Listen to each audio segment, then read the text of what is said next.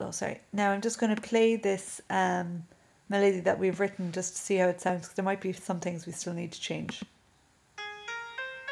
Sorry start from the beginning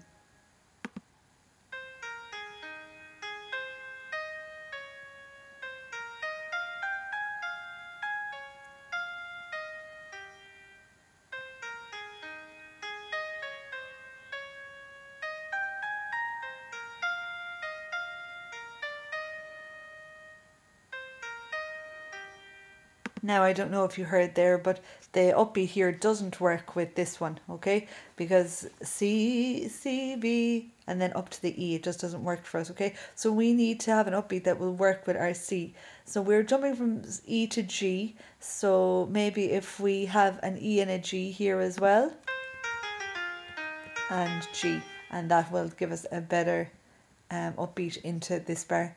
Um, and that's all we need to change. Now we have to add some dynamics, so you know, louds and softs. So a good place to add a crescendo here where the notes are going high. It's easy for a violinist to go loud when the notes are going high. So we'll add in a crescendo if I can remember how to add it in.